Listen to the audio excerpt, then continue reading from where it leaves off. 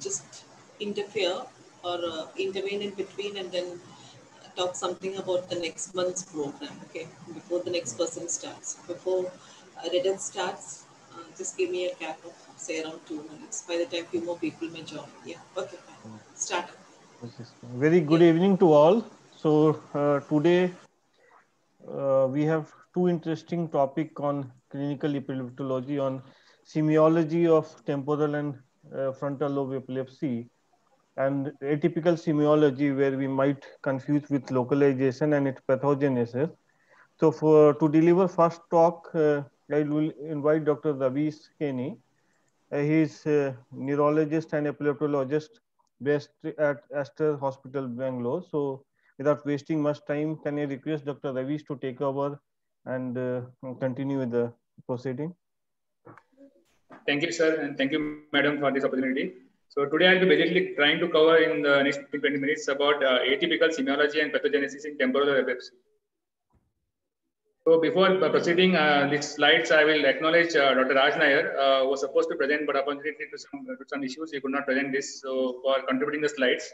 And I thank my all my teachers in RMNC, Ashalatha Madam, Sanju sir, Ram sir, Ajit sir, to all neurotechnologists, neuropsychologists, speech, occupational therapists, and all the nursing staff, and whoever I've, I've forgotten and also my colleague Jitupam, and special thank to Dr. Menon uh, and Mr. Anzari for collecting and compiling the videos, and my uh, staff who has helped in editing the videos. And lastly, uh, I thank all the patients admitted into the EMU of RMNC for these videos.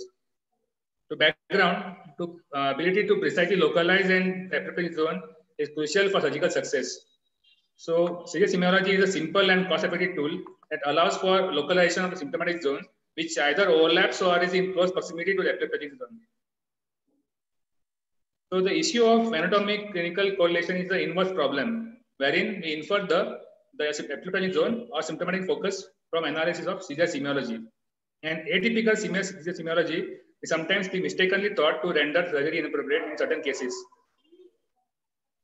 Temporal seizures are the most frequent seizures that we all know for focal epilepsy, and they represent approximately two-thirds of the surgical remedial cases.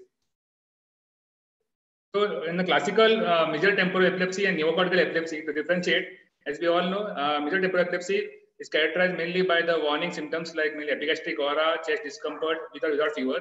And they also will have initial uh, like behavior arrest and motionless stare.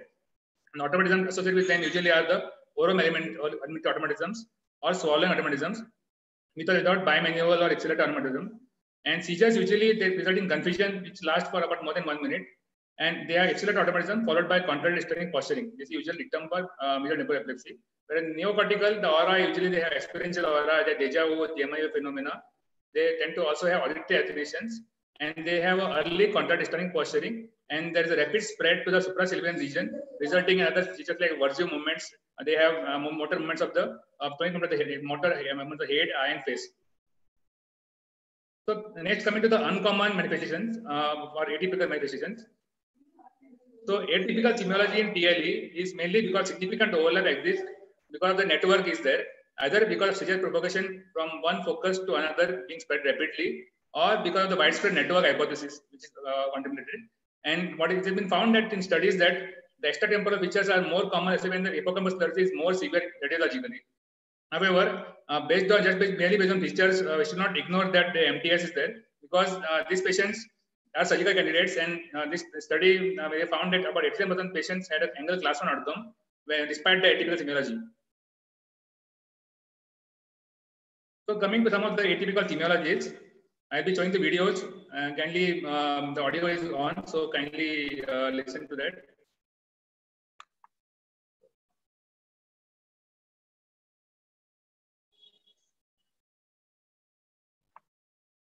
See, ictal yawning.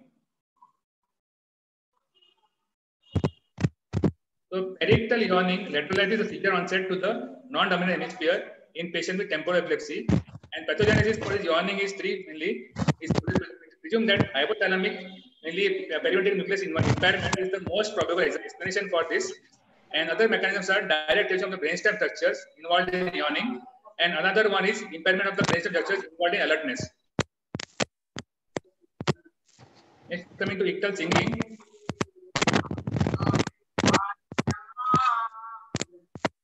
So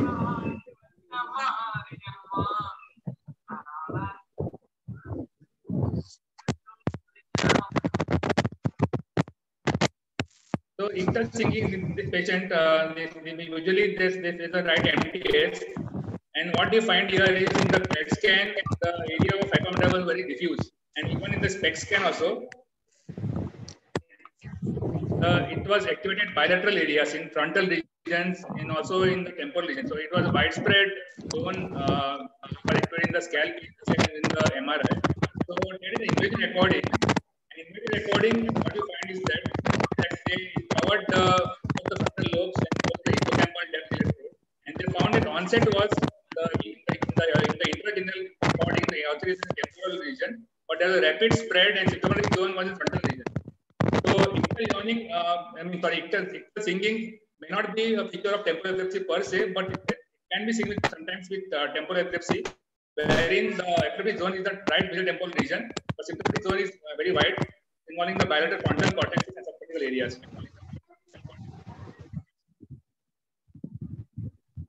Coming to ictal thirst.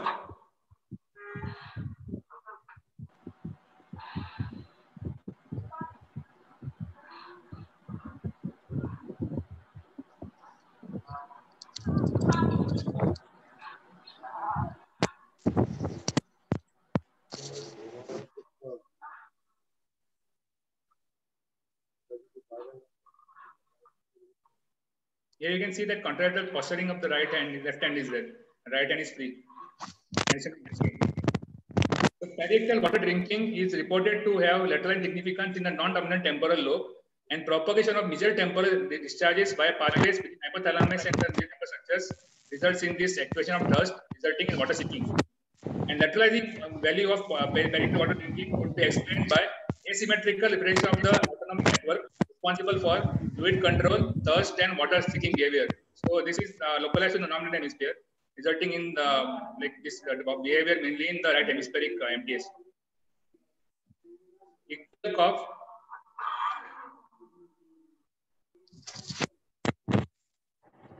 Here the patient is having a left hand is you can clearly see. So cough is a stereotypic occurrence of coughing during several recorded seizures. It uh, indicates temporal epilepsy, but can be even seen in other cases. So it's not specific.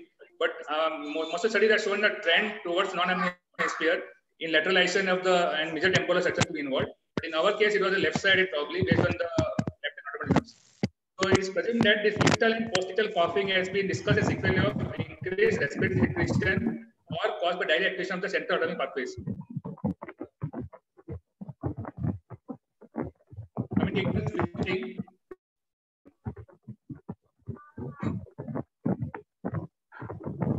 you can see the left hand is free, the right hand is kept postured, and patient is spitting.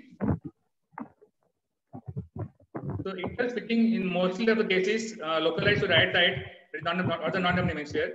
This is automatic behavior similar to lip smacking, swallowing, and chewing movements. Spitting automatisms do not appear to be results of activation of the central network because in spitting there is only spitting alone.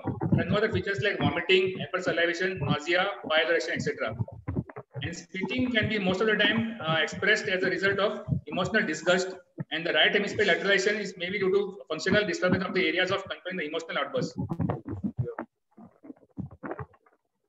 Coming to retching and vomiting.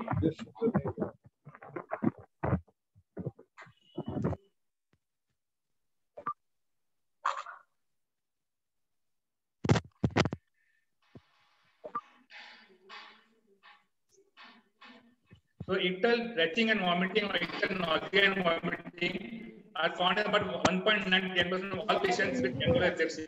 And they are being linked to seizure onset in non-dominant and the right hemisphere, suggesting a functional asymmetry for the gastrointestinal tract, as I already spoken earlier.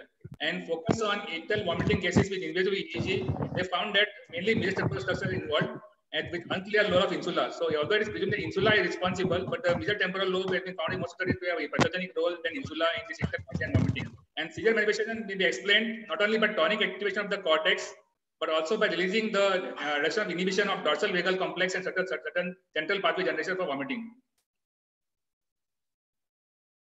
Coming to range. So you can see that the left side of the patient and the right hand, I'm sorry, the right of the patient, the left is having a semi-purposeless movements which are appearing there. And after that, the left hand is kept posture and right is free. So again, I play one more time because it's a rare phenomena. So you can see here, the left hand initially makes some semi-purposeful movements.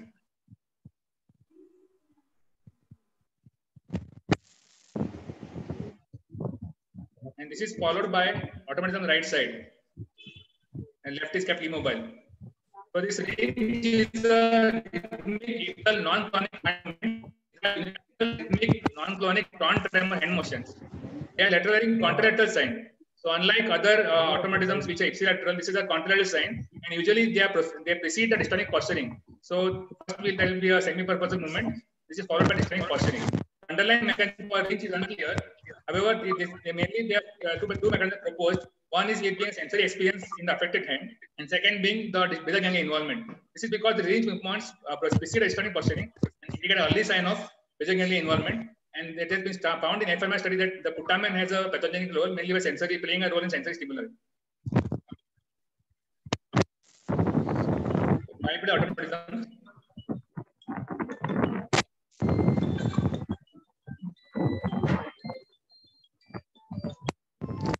Bipedal automatisms occur in a wall unit TLE, and they usually they have a mesial temporal, lateral temporal, or, and orbitofrontal equation simultaneously.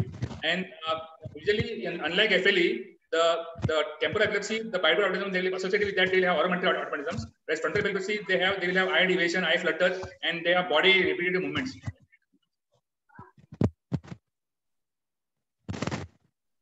Next comes the hypermotor TLE.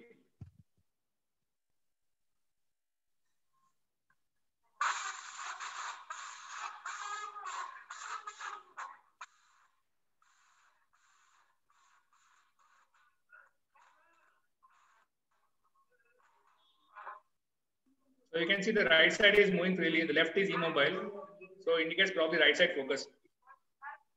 So hypermotor seizures are characterized by involvement of the body axis or proximal limb segments, resulting in large amplitude movements such as rowing, picking, or bicycling. They are considered to be classically seen in frontal epilepsy.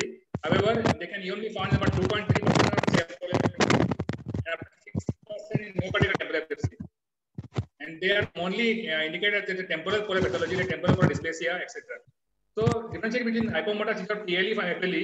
Usually this hypomotor seizure of TLE, they have a preceding aura like epigastric aura, fear of palpitation. And then the ipsilateral complex automatisms and contract dystonia, which is seen in this patient. So you can find a right hand automatic, right lower limb and right side as immobile. And in the EEG, what you find is unlike FLE, the hypermotor phase is preceded by EEG changes about 8 seconds before the onset. And it is mainly for propagation of the ictal discharges from the temporal pole to the frontal region. Get it clearly. So here the child repeats, reports the epigastric aura.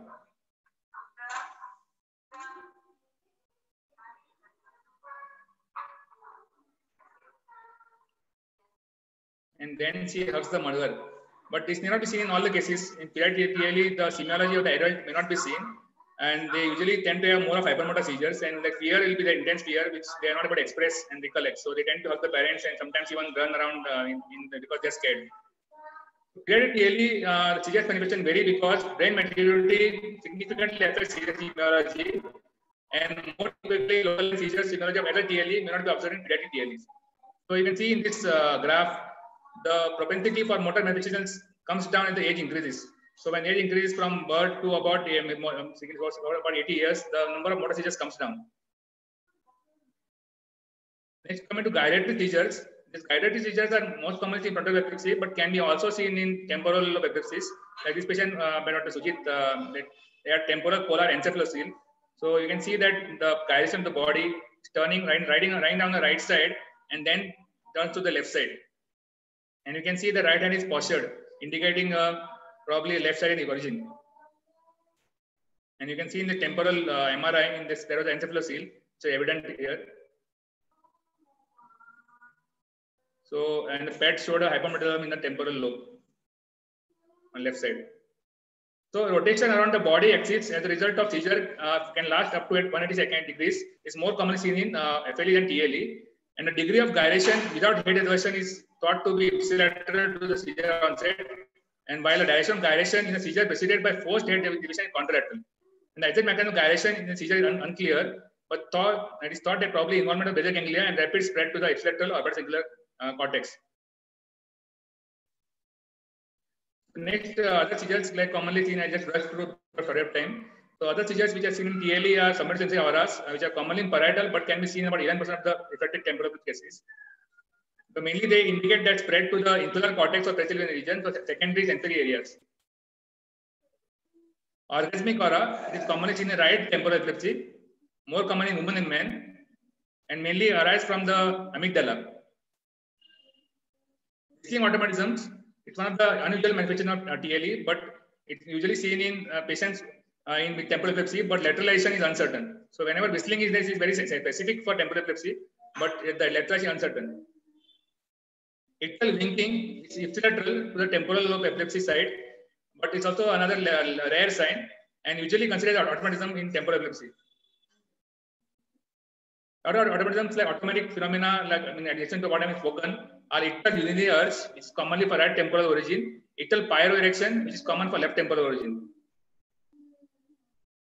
To conclude, mesial epilepsy may be acting at the hub of network responsible for generation of or propagation of seizure activity, and awareness about the atypical semiology is critical in patient selection for epilepsy surgery as well as to avoid misdiagnosis.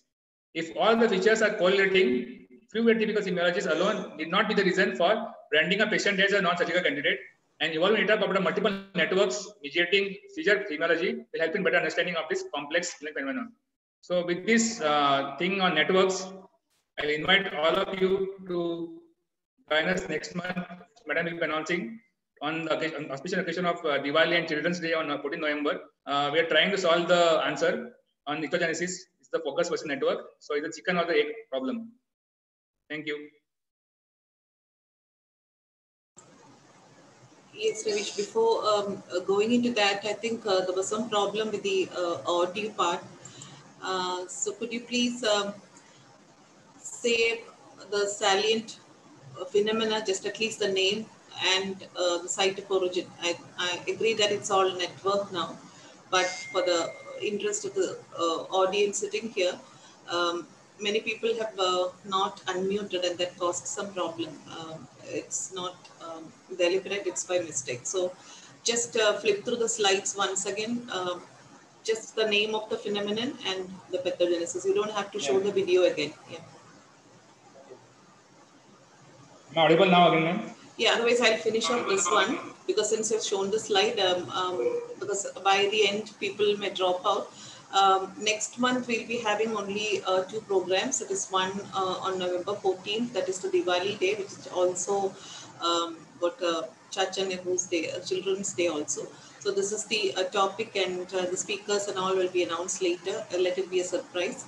And then we'll have a talk on life beyond neurology and that speaker will come at the end. That is, I mean, the last weekend, the Sunday of November. So I think um, though it is Diwali day, it will be a feast for all of you. And uh, just uh, be with us for one hour from 7 to 8 p.m. on November 14th. And it's a very important topic. There's a lot of uh, um, uh, what we call discussion going on and off and right and left, wherever where you go, it's all about networks and networks and networks. So foci versus uh, network is the, uh, the concept. and we have very um, good speakers. Two of them will be speaking on networks and one will be speaking on focus. So others a devil's advocate and uh, two will be going for the network. So all of you please be there on November 14th, although it's a Diwali day. Uh, with that, uh, Ravish, uh, can you just go on and Haseeb can take over? Yes, let him flip through that because there was a lot of uh, disturbance and many of the people were saying that. Yeah, from the first slide onwards, very quick, five minutes. Don't rush through. You can just uh, uh, stop, pause it after each one and just complete it once. It is usually indicative of a non-dominant the right-sided temporal epilepsy. So it is mainly for because of the hypothalamic involvement, either excitatory mechanisms and also by inhibiting the brainstem structures involving alertness. Is it audible now? Uh, Ravish, voice is echoing. Uh, Ravish, uh, you, whether you have joined from two different devices? Am I audible now? Yeah, yeah, no, much better. Yeah. Okay. So yawning is an indicator a non-dominant hemispheric involvement, uh, mainly by hypothalamic impairment, and mainly other than that, uh, it is mainly by impairment of brainstem structures involved in alertness. Video as I have already shown. And uh, ictal singing, ictal singing is uh, not specifically uh, located temporal epilepsy, but it can be seen in that case of right temporal epilepsy, uh, where they, the, though the ictal onset may be on the temporal region, the symptoms are due to frontal, uh, bilateral frontal involvement and subcortical areas. Ictal thirst, ictal thirst and periictal water drinking have a significant lateralization to the right temporal, not non-dominant temporal region. And the presumed uh, mechanism by which this is because of the asymmetrical activation of the central autonomic networks, uh, which are more to be more disabled in the uh, responsible for fluid control, thirst, and water seeking behavior. These have been found to be more asymmetrically impaired in patients with right temporal epilepsy.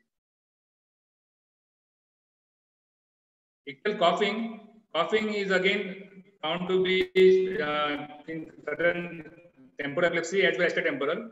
Periictal coughing is as, as a less of lateralization, but ictal coughing can be seen in temporal epilepsy. Again, is a trend is towards the non-dominant hemisphere in lateralization and mesial temporal location in localization.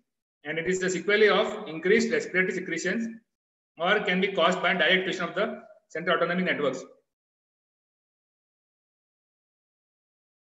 Ictal spitting, ictal spitting it occurs independently of ictal coughing. So ictal spitting, unlike uh, ictal coughing, is a not an autonomic autonomic phenomena. It is automatic behavior. So it is usually seen in again in the non-dominant hemisphere on the right side, and it's a spit it's automatisms uh, which results in the as a result of emotional disgust. It has been found that right hemispheric uh, lateralization because of the impairment of the functional areas which control the emotion. So it's like patient uh, reacts emotionally to the to the um, seizure and tries to spit. So it is more specifically seen in the right side temporal lesions. Ictal and vomiting. Again, ictal nausea and vomiting are presumed to be either temporal or insular. The studies have found that it is mostly seen in right temporal region. By stereo studies, this uh, Peter Fusa et al. They were the ones who have extensively investigated that, and they found that it was mainly presumed to be uh, mainly to be in, in a result of the mesial temporal involvement. And they found that uh, right side is common, but even left also can be there. But as a whole, right is more common. It's mainly by activation of the cortex and also by other mechanisms like inhibition of the other uh, dorsal vagus complex and central part pattern genesis for the uh, vomiting. Range, it is a rhythmic ictal non-clonic movements, which are unilateral movements, which are uh, rhythmic non-clonic non-tremor hand motions. They are lateralizing uh, contralateral sign, and usually they are followed by dystonic posturing in temporal epilepsy. So unlike the automatisms which are ipsilateral, this range is usually contralateral. And the mechanism proposed for range are unclear. It is presumed that it is triggered by sensory phenomena and basal ganglia is found to play main role. Bipedal automatisms, they can usually be in FLE but can be found in uh, temporal epilepsy also.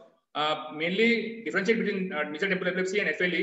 In mesial temporal epilepsy, they have a oromontanide automatisms, where in the FLE, there is a associated eye flutter, etc.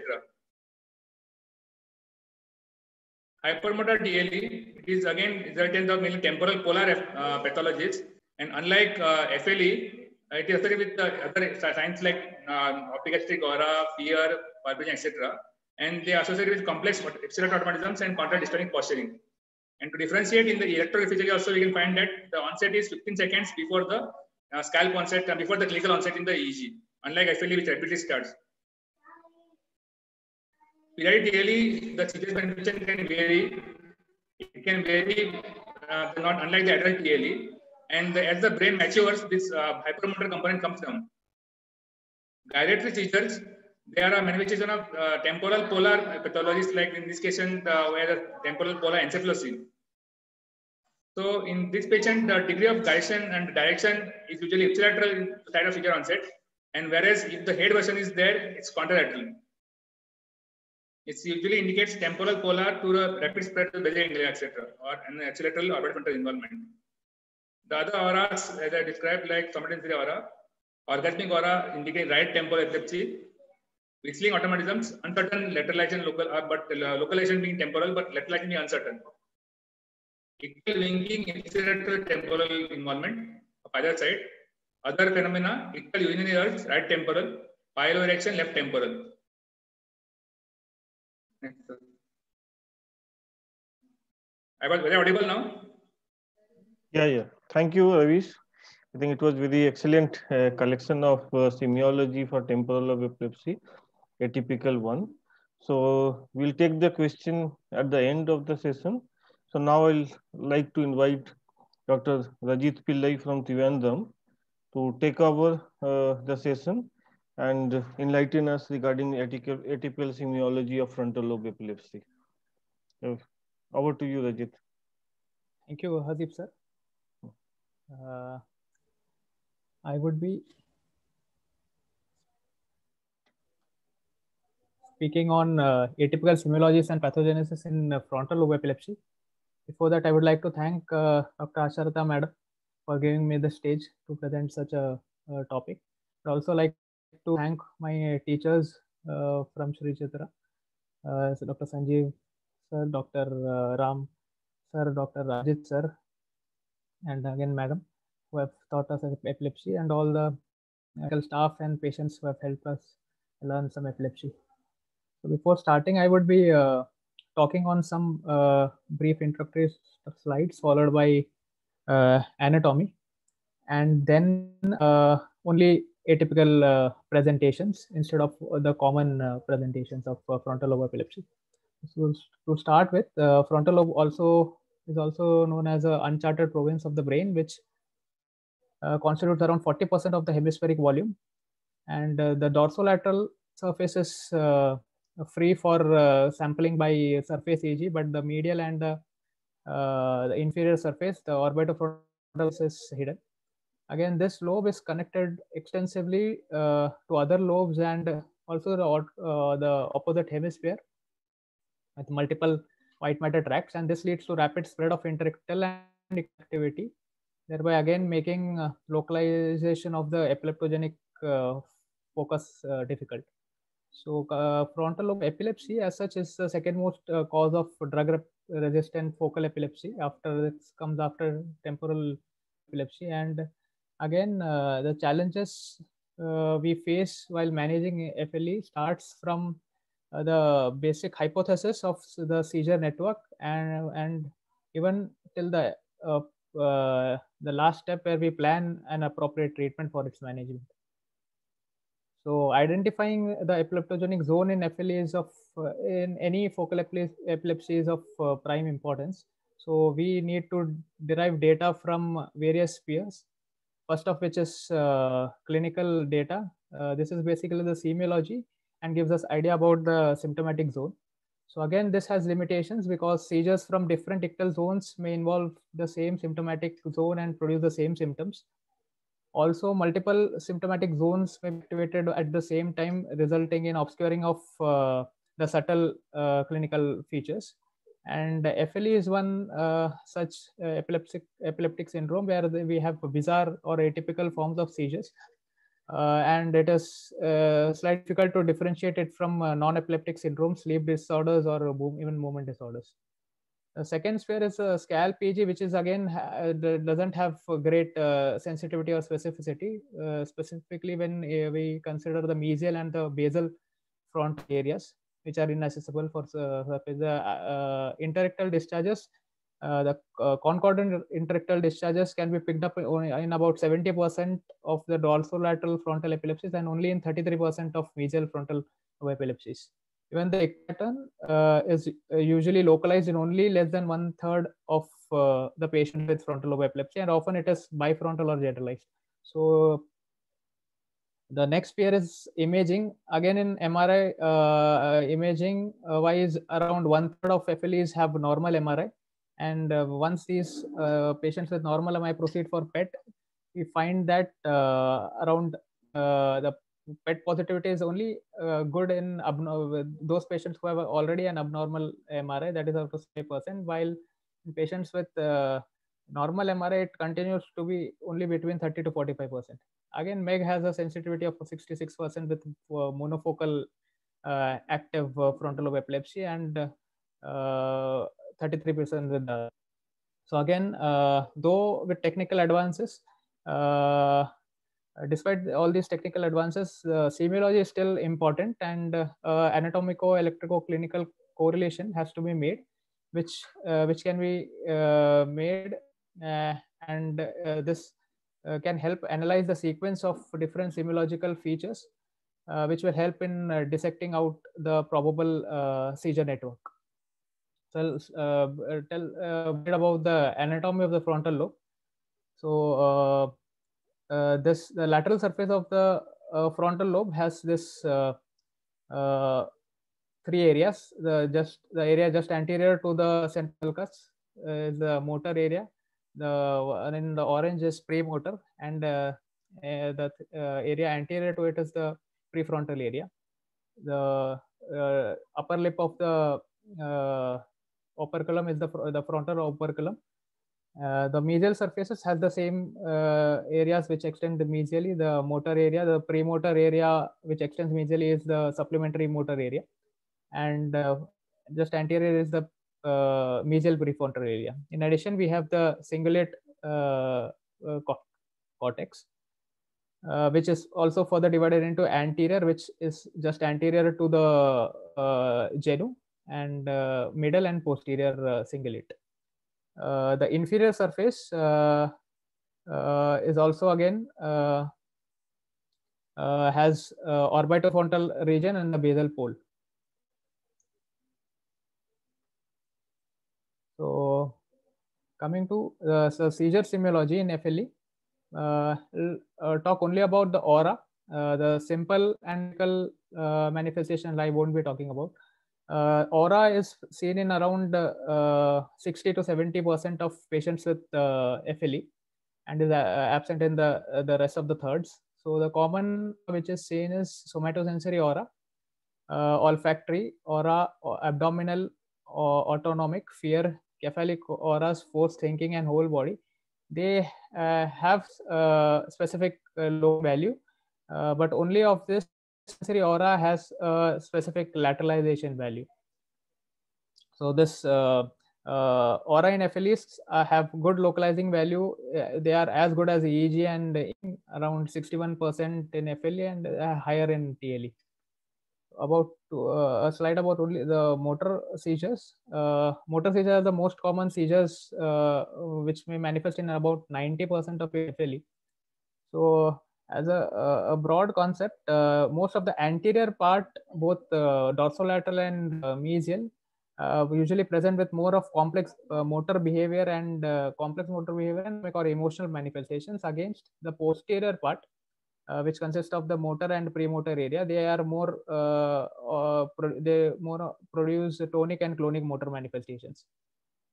So uh, the motor uh, seizures uh, in semiology commonly we see with FLE are clonic asymmetric tonic complex motor versive absence like seizures and opercular insular seizures we won't be discussing this we'll directly go to the atypical semiologies so the first typical semiology this they are uh, they are the hypermotor seizures. These are complex behavioral uh, behaviors involving proximal segments of the limbs and trunk.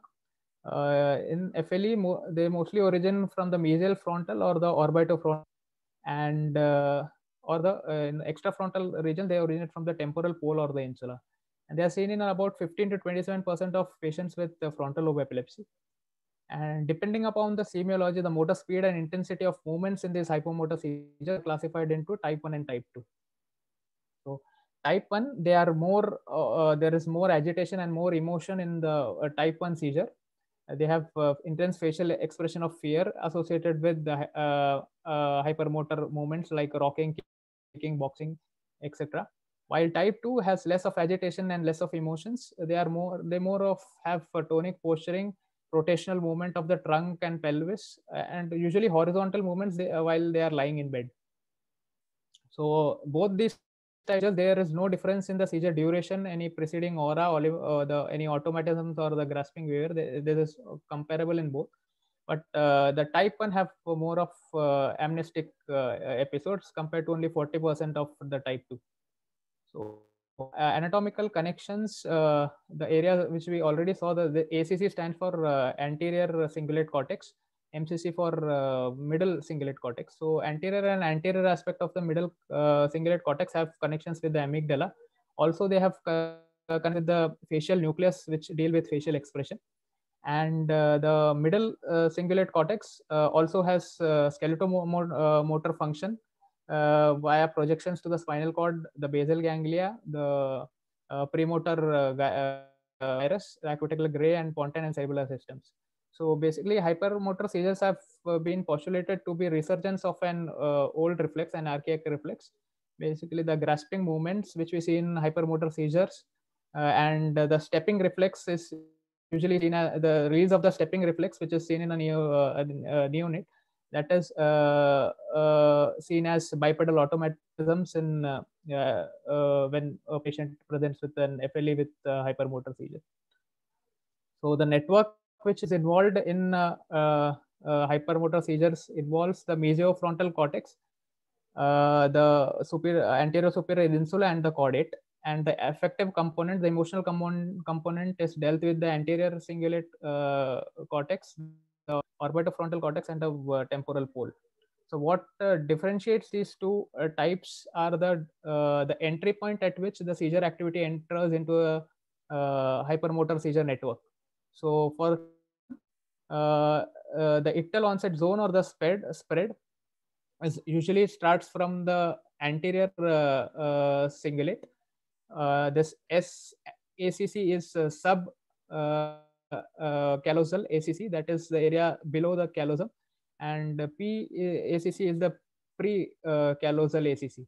So this the uh, anterior or ventral uh, anterior uh, cingulate cortex or the orbitofrontal uh, region, any seizure which originates from this area and spreads the, uh, posteriorly usually will present with a hypermotor type 1 seizure against a seizure which originates in the mesial premotor uh, cortex or the middle uh, cingulate cortex without involving the anterior structure. So this will present with more of motor and less of emotional uh, features.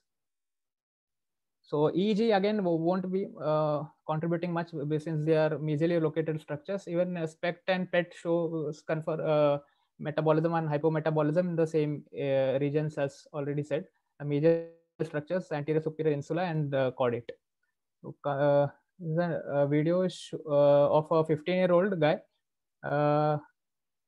who had seizures since two years of age. He had delayed language and on a clinical examination had adenoma sebaceum and ash leaf macules. This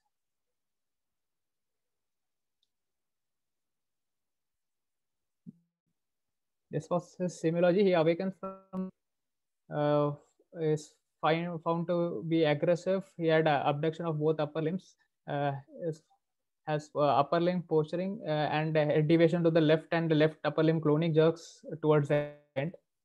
Uh, his I, EEG showed interictal right frontal and right PHR discharges, and these he had uh, ictuses recorded from the right frontal temporal uh, of right frontal set. Uh, the MRI showed a right frontal tuber. So this was an example of type 1 uh, hypermotor seizure with aggression and fear this is another uh, uh, kid with a 12 year old with seizure onset at 9 years of age. He has this uh, left upper limb posturing, pedaling movements. He has retained awareness during the event. And the event lasted less than 30 seconds. Uh, his EEG had a frontal and bifrontally dominant uh, uh, bifrontal ID and event was of uh, right frontal ictal onset. His MRI was negative. He has been advised a PET and follow up. So this was a type uh, 2 uh, hypermotor seizure. So basically nocturnal paranormal nocturnal events, they have to be also differentiated from paras parasomnias. So uh, we have a, a FLEP or uh, frontal lobe epilepsy and parasomnia score, uh, uh, which rates all these clinical uh, features and helps us differentiate from from FLE from parasomnias. Any score less than zero is likely unlikely to be epilepsy, and zero, one is likely to be epilepsy. So uh, coming to the second atypical manifestation, which is ictal pouting. So uh, uh, this uh, uh, refers to the shape of the uh, hat of Napoleon. And this is characterized by an inverse smile, symmetrical and sustained lowering of the labial commissures with contractions of the chin.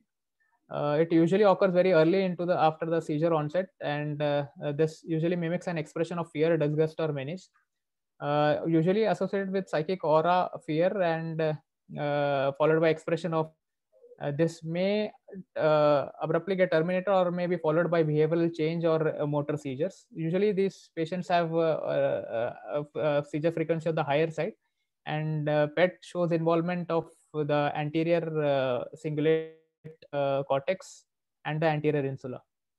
So again, the mechanism postulated is resurgence. This is an, again an archaic reflex.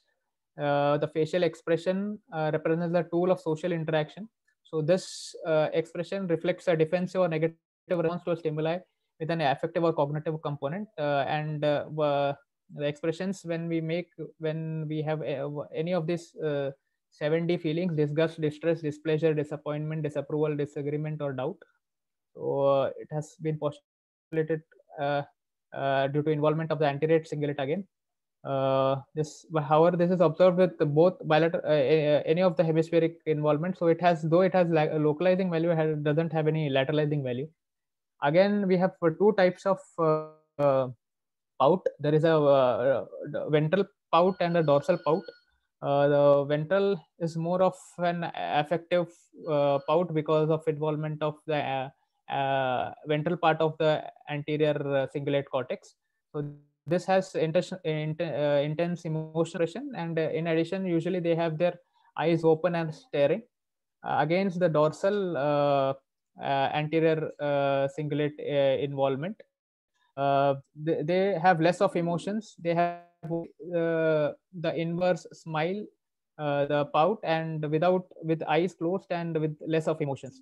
So uh, again, we can differentiate if whether the uh, lesion is uh, in the ventral cingulate or the dorsal cingulate, depending on other features which are associated with pout. Basically, the the activity spreads from uh, the anterior cingulate to the anterior insula and the central operculus, uh, uh, the pout. So this is again a 30 year old, the age of onset of seizures at seven years.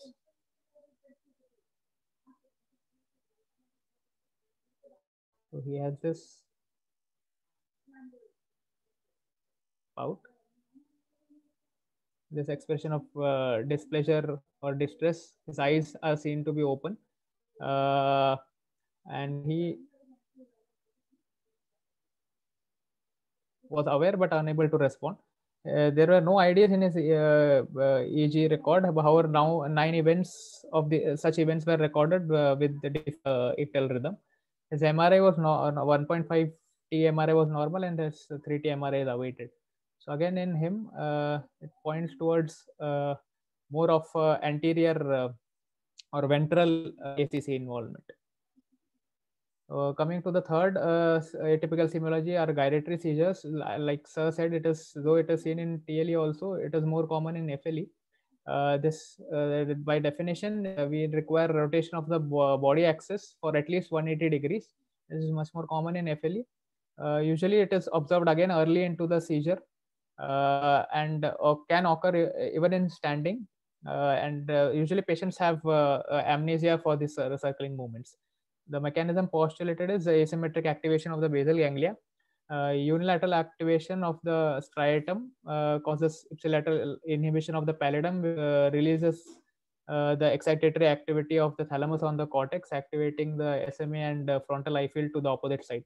So again, like Sir, Sir said, forced versive movement of the head preceding the is again of importance because any forced head movement uh, preceding the gyration is uh, indicates a contralateral seizure foci.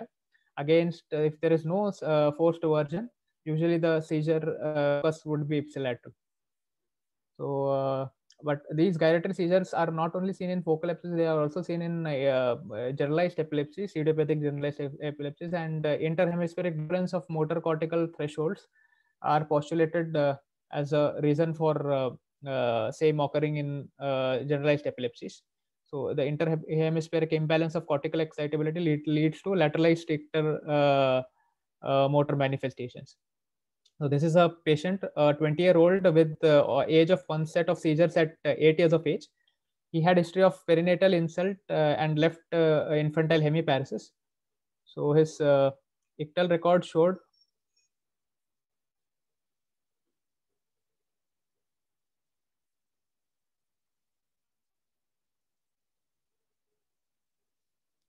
forced head deviation to the left, gyration to the left, followed by a left uh, atonic limb posturing and secondary GTCS. Uh, his again his EEG showed an uh, interictal uh, the interictal record showed right frontal, right temporal IDs and uh, seizure recorded were of diffuse ictal onset. However, MRI showed a right frontal porencephalic cyst. So this uh, uh, since he had head adversion, a forced head adversion prior to onset of seizures, uh, and this adversion and gyration was to the left uh, suggested a right frontal pathology. This is again a 18 year old with age of onset of seizures at 10 years of age. With he had encephalitis like illness at four years. Uh, this is his semiology. He awakens from sleep, appears confused. He has non-versive head deviation to the left, and then gyration left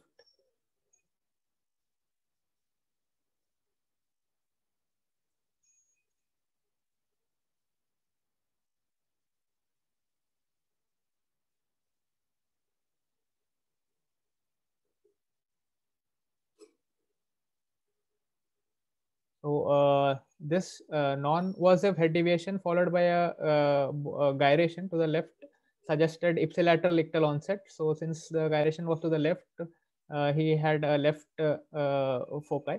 So in this case, he his MRI showed only a left MTS and probable seizure propagation to the ipsilateral frontal lobe was responsible for its ipsilateral gyration.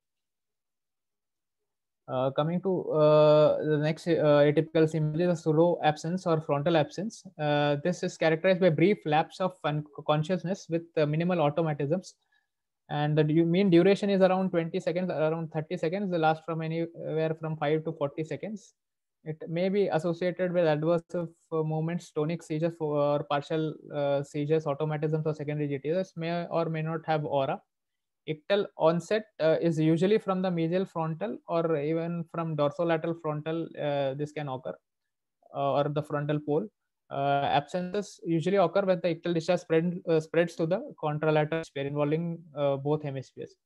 So the interictal EEG will show for frontally predominant spikes with or without frontal or frontotemporal flowing and the ictal EEG will usually show frontal or generalized spike and wave discharges or low voltage fast, fast rhythms or uh, rhythmic uh, slowing. Uh, there are usually there is no typical three hertz spike and wave seen, which we see in the usual typical absence. So when someone presents with prolonged frontal absences, uh, there should always be a suspicion of uh, a syndrome called ring 20 syndrome, chromosome syndrome, usually present with refractory epilepsy uh, usually complex partial seizures with uh, non-convulsive status, which are usually uh, absent statuses, and they ha have a normal MRI. So the seizures which such patients can have are nocturnal hypomotor or hypomotor events. Uh, non-convulsive status, uh, which are which are usually characterized uh, characterized by prolonged confusional episodes of mostly which are absent status and even they can have uh, nocturnal confusional arousals with night terrors and visual hallucinations. Probably they mostly uh, are kept as uh, kept as uh, kept with a diagnosis of cryptogenic lgs nocturnal fle or uh, uh, patients with csws pattern in sleep. They continue to have refractory epilepsy and these absences so onset is usually between uh, in early childhood to early adulthood, and uh, on examination there is little. Uh, there is usually no focal signs. There may be mild dysmorphic features, and there may be mild mental subnormality. Uh, but this uh, entirely depends of, upon the uh, mosaic contribution of the ring 20 chromosome to their chromosomal pattern. And EEG usually shows bilateral paroxysmal high voltage slow waves with six over frontal or temporal region and which lasts for several minutes to even hours uh, during uh, the seizure record. So this is a patient, a 14 year old with uh, onset of symptoms, seizures at 10 years. he, she was poor, poor scholastically uh, she reported uh, two seizures of uh, two semiology. one was sudden un unresponsiveness or stare, which would last for 10 to 30 minutes. Other semiology was fear, and which was followed by manual automatism, which would, which would last only two minutes. She had multiple such events per day. So uh, this was an event which was recorded where uh, she was found to be unresponsive. She kept staring. She didn't respond uh, to any commands and EEG uh, continued to show irregular uh, uh, spike and wave discharges, uh, which lasted for more than uh, 10 to 15 minutes.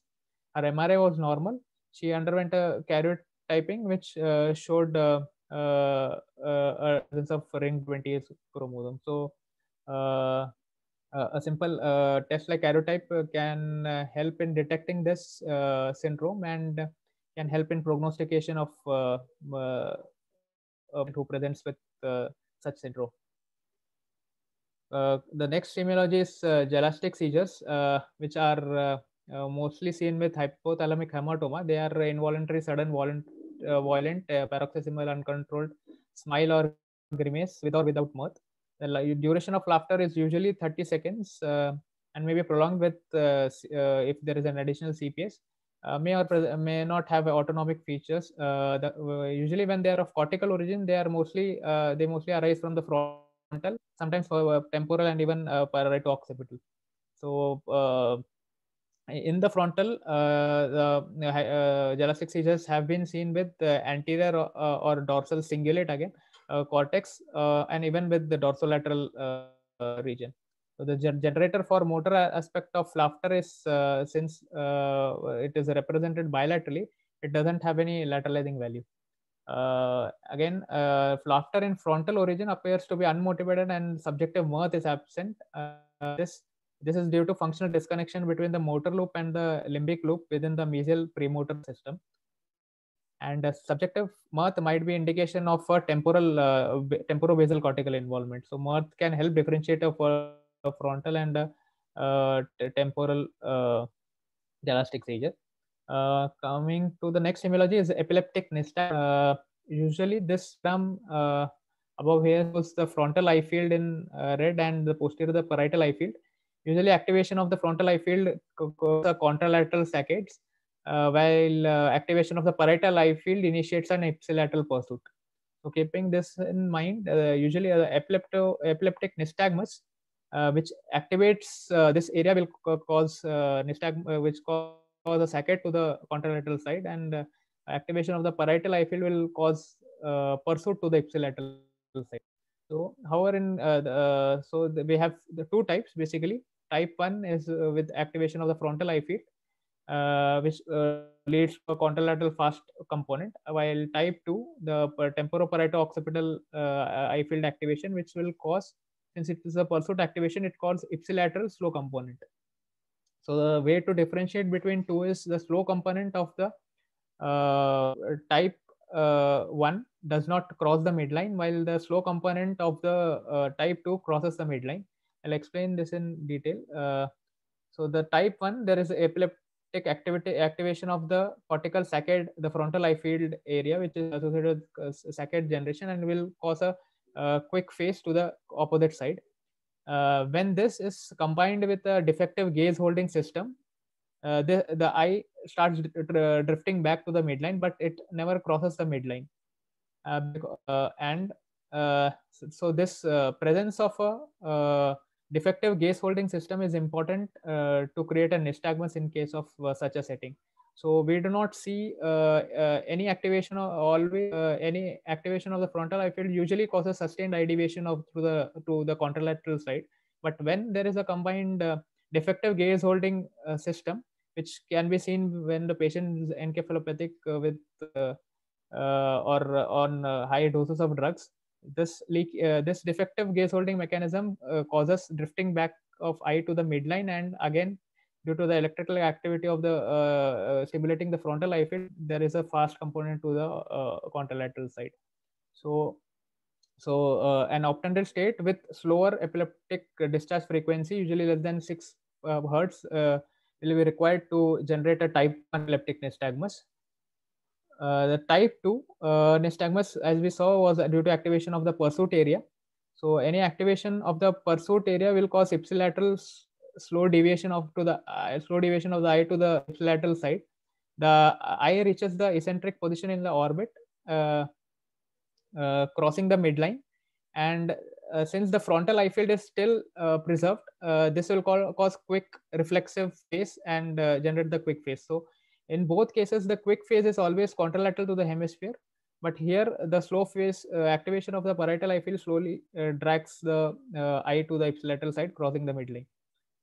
So, uh, but however, the type 2 uh, nystagmus requires an alert state uh, with an uh, working uh, frontal eye field in order to create the uh, corrective saccade, addition to a discharge frequency of more than 10 hertz localized to the TPO region.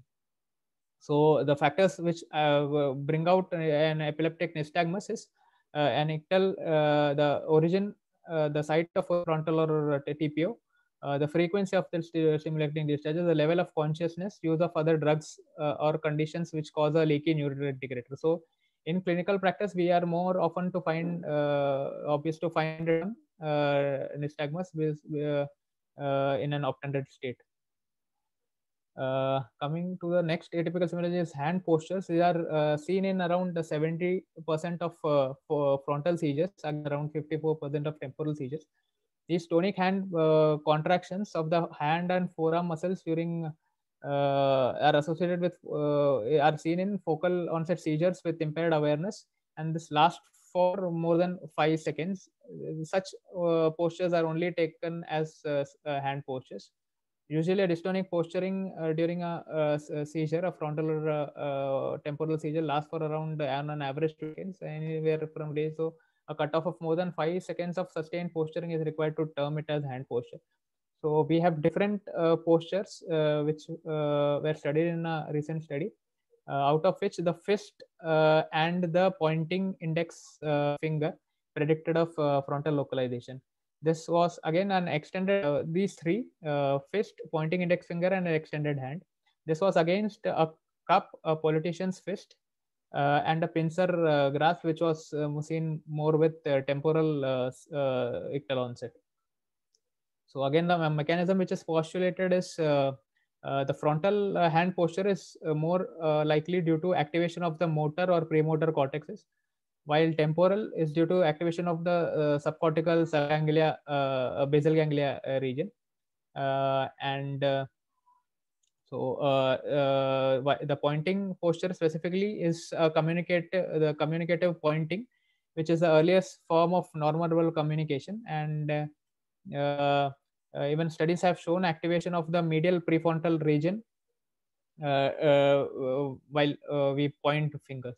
So activation of such area, the medial prefrontal area can cause this posturing. Again fist is again a confrontational aggressive gesture uh, which associated which is associated with complex be social uh, behavior. And uh, again prefrontal and orbitofrontal cortexes are uh, involved in uh, uh, controlling the the lower hypothalamic and amygdala centers and they to and they are associated with the emotional component associated with such aggressive gestures so uh, these again, uh, like we saw in uh, the POUT, the hypermotor seizures, the being bipedaling automatisms, and now the pointing and clenched fist, all are release of archaic reflexes, which present during the seizure. So to conclude, uh, semiology with uh, uh, which are associated with high frontal epileptogenic zone localizing uh, positive predictive value include the bipedal automatism, ictal grasping, and ictal pouting. Uh, again, against the temporal uh, uh, uh are post-ictal nose wiping, ictal spitting, ictal whistling, and piloerection. Again, anterior or prefrontal seizures uh, are more likely to present with complex behavior, motor behaviors, and emotional manifestations Uh, against the posterior uh, frontal, which include the central and precentral areas, which in, uh, mostly present with postural or um, uh, tonic motor activity.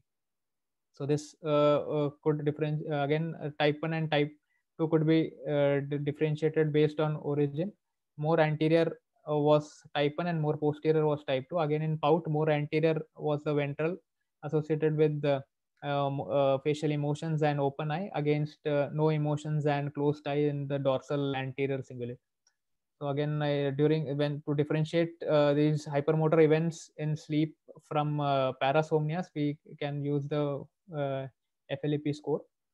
Again, a forced head uh, version preceding a, a gyration, the seizure focus is usually contralateral to the onset against uh, a non-forced head version preceding a gyration where it would be ipsilateral. In absence of mirth can help differentiate uh, gelastic seizures of frontal origin from temporal origin. And epileptic nystagmus, the fast component though is always contralateral. The slow component helps differentiate uh, frontal from the uh, TPO-ictal uh, nystagmus and the fist and pointing uh, postures along with an extended hand predicts frontal lobe localization against the cup politician's fist and pincer postures the lobe localization so thank you. And these were our postures from our patients the videos from which which i uh, just showed. Of the six patients uh, one was an absence. One did not uh, could, couldn't see his hands because it was under the cover. uh, this was from the first uh, uh, the pick on the extreme left is of the type 1 hypermotor seizure. He has this extended fingers. Uh, again uh, suggestive of frontal. Uh, this was type 2 hypermotor seizure, but he has a politician's fist, which was more suggestive of temporal, but his MRI was normal and he was awaiting PET this was a hand posture of, of, that patient with the gyratory uh, seizure with the preceding sustained eye, uh, head deviation. Again, he has an extended limb, which again favors a frontal uh, ictal onset. This is uh, the uh, hand posture from the second the gyratory patient without a sustained head deviation. He had a MTS. So this is again this uh, cupping is again in favor of a temporal ictal onset. Thank you.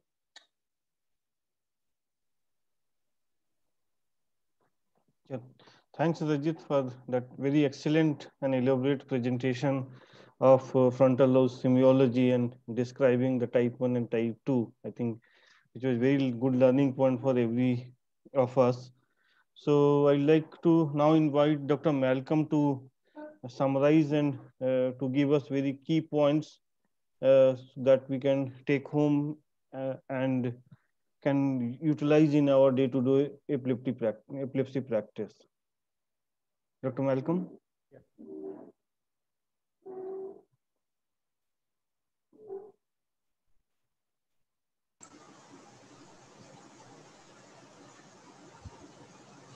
Malcolm, are you there? Yeah, I'm there. Yeah, yeah. yeah.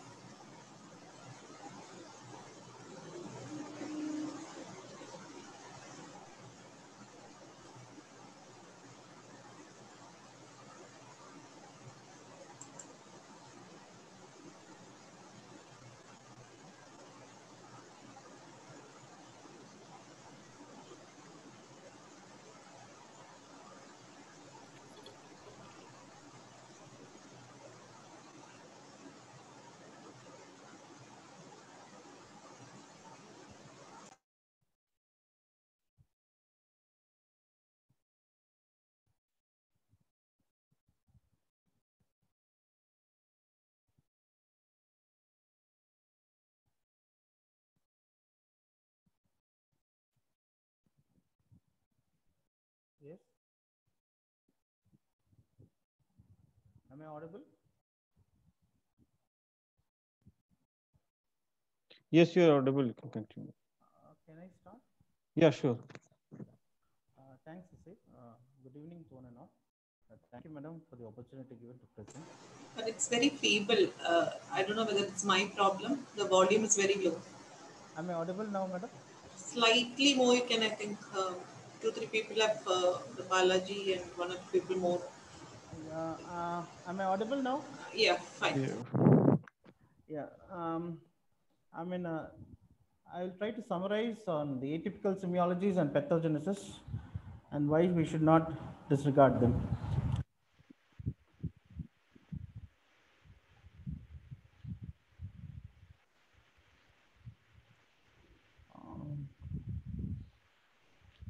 Ravish? Sir, you're audible, sir. Actually, you can speak, sir. Yeah. Yeah, I mean, my slides aren't moving. I mean, uh, since- think probably you have to stop sharing and do it one more time, sir. Just kindly do it again one more time. Probably uh, you have to uh, exit the stop sharing and do it.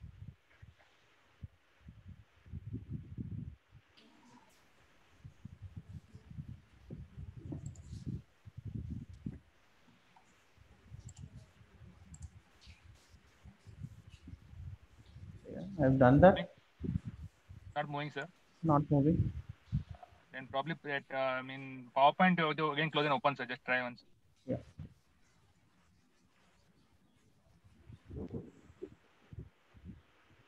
Yeah, I think that's okay. okay.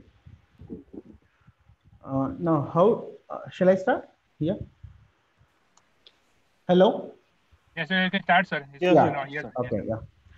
Now, uh, regarding the uh, semiologies, rather the atypical semiologies of localizing value, how do we first get the data? The data is obtained from three sets of uh, ways. One, where there is an analysis of seizures in patients who have become seizure free after a restricted cortical resection, which is considered to be the gold standard. Second is the analysis of patients with seizure foci localized by intracranial electrodes, bar stereo EEG, which is useful, but considered slightly inferior because the placement of electrodes may be hypothesis driven. And lastly, the seizure foci localized by surface EEG with other imaging results, but the strength of the evidence is considered variable. And we also have to keep in mind that uh, the data that we are trying to share may be single case reports, a case series, and so on. So after an excellent presentation by Ravish, I'll try to summarize uh, the following atypical uh, semiologies, namely the spontaneous periictal leaving behavior, the ictal piloerection, ictal singing, hypermotor seizures, RINCH, periictal water drinking, ictal vomiting, and ictal spitting.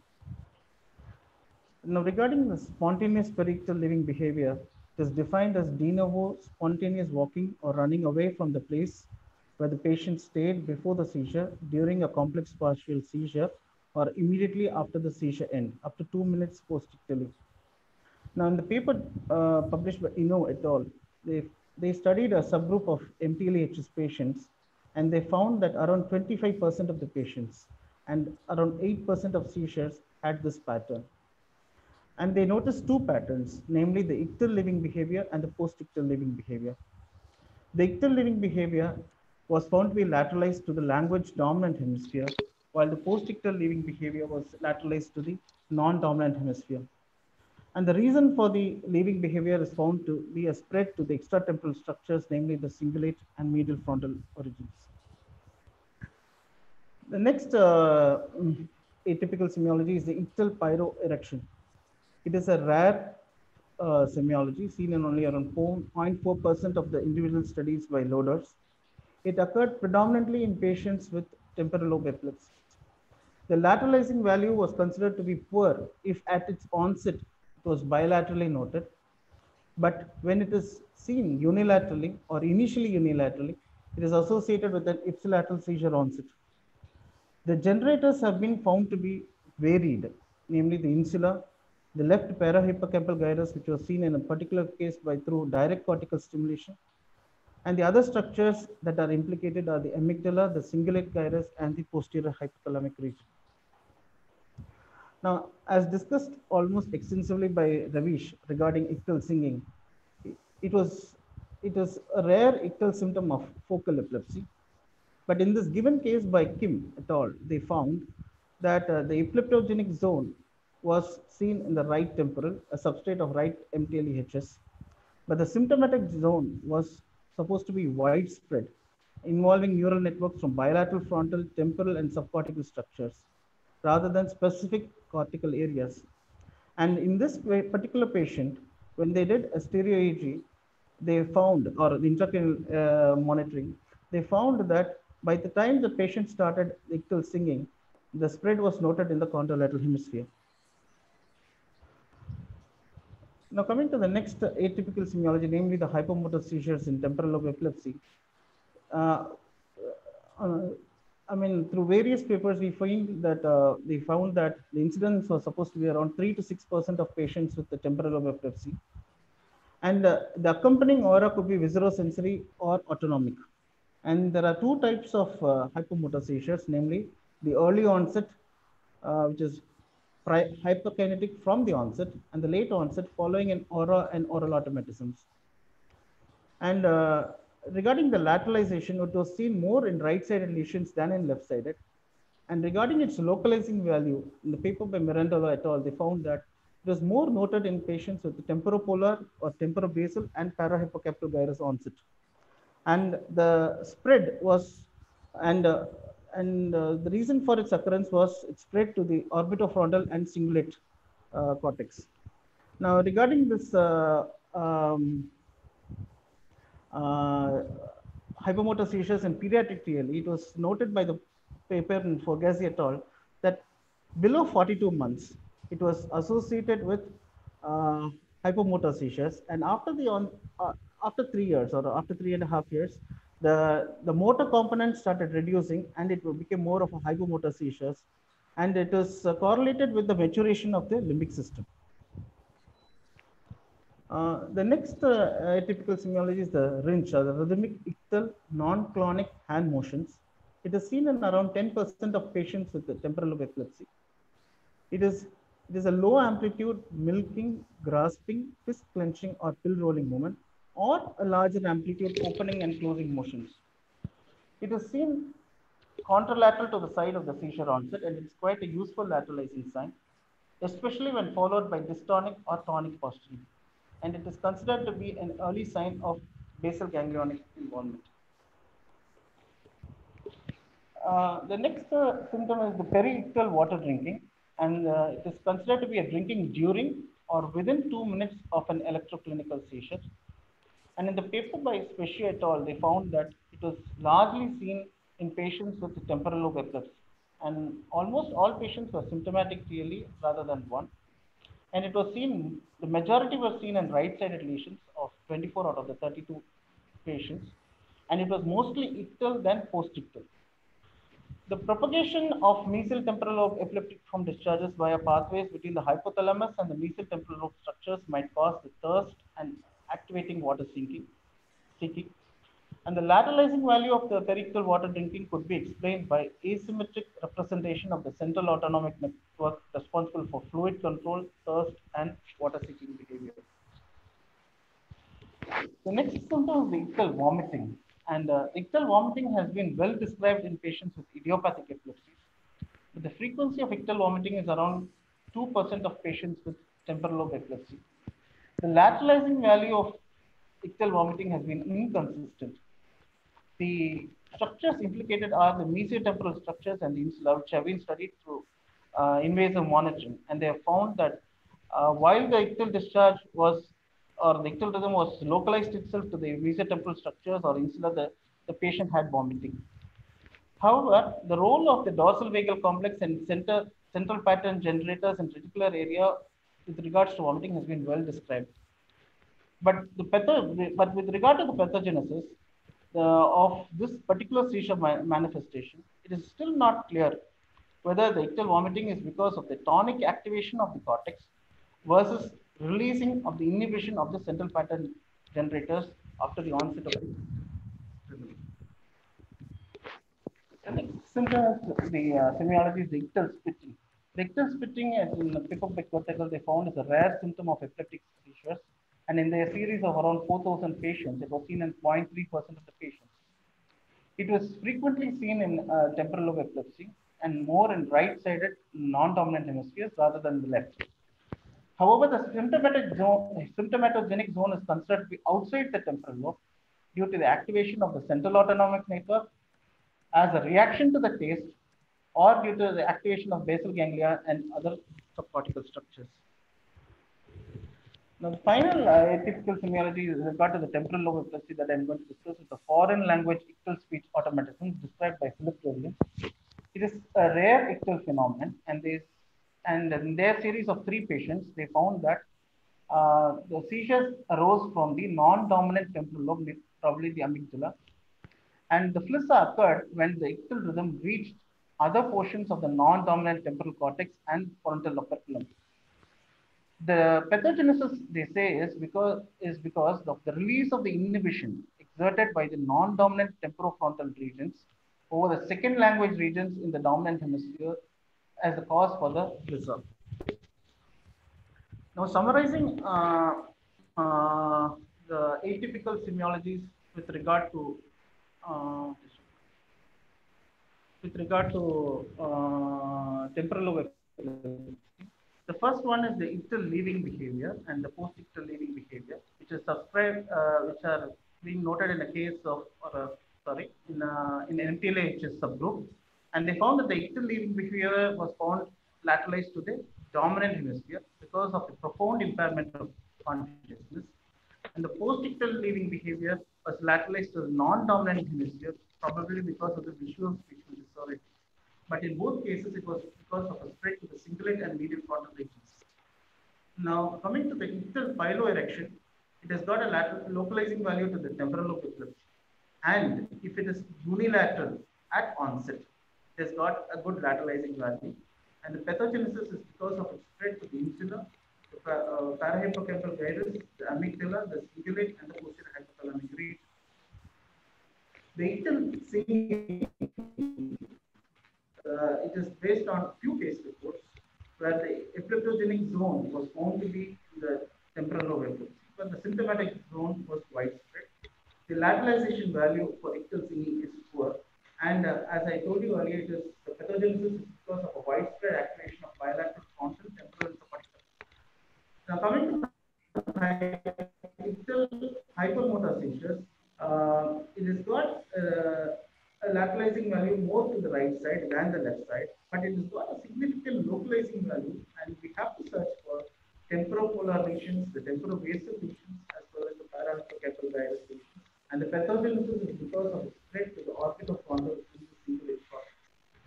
Now, with regards to the RINCH, the localization is well into the temporal lobe epilepsy, and lateralization is to contralateral side, and it is because of an early basal ganglionic involvement. With regard to periictal water, drink, water drinking, this again got a localizing value to temporal and the lateralizing value is seen more to the right than in the left because of an asymmetrical activation of the central autonomic network. With regard to ictal vomiting, it has got a good localization value to temporal lobe however, it's got a poor lateralization value.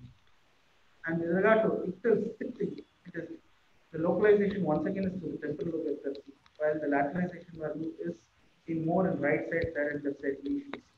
And finally, with regard to the localization is to the amygdala and lateralization is to the non-dominant hemisphere because the release of inhibition of dominant hemisphere. Now I'm proceeding to the atypical semiologies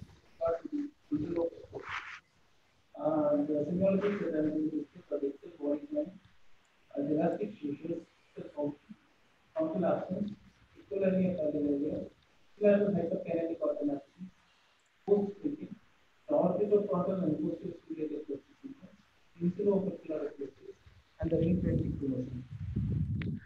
I'm not going to too much into the uh, um, couple of observations for the frontal lobe, but I mean, uh, we should be aware that uh, in the landmark paper by Brancott and Pereira, they divided the frontal lobe almost into nine regions, namely the motor cortex, the insulo-opercular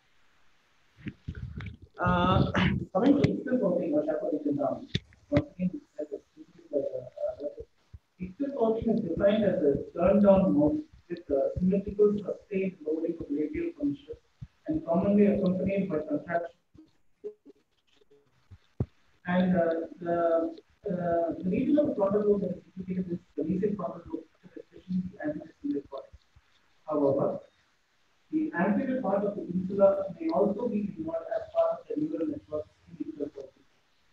And um, the anterior cingulate cortex has two parts, namely the rostral and the dorsal part. And clustering of symptoms with distal coping can help in differentiating these two locations.